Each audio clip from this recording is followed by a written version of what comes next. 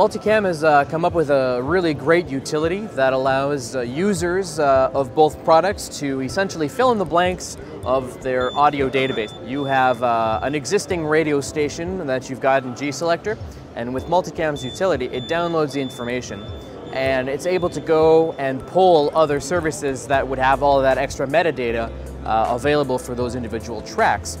And then it allows you to basically fill in the blanks. Any information that is missing, it will go out and get it.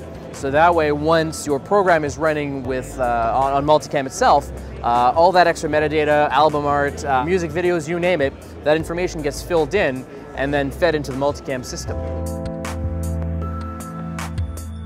Visual radio is, uh, is pretty new to me. It's a concept that uh, wasn't uh, very popular in North America, but is actually taking really uh, a big hold here in Europe. I think it's an interesting concept. It brings a new um, intimacy between the spectator and the listener, or watcher in that sense, and, uh, and the, the radio station themselves. So I think it's, uh, it's an interesting combination of, of two different mediums coming together.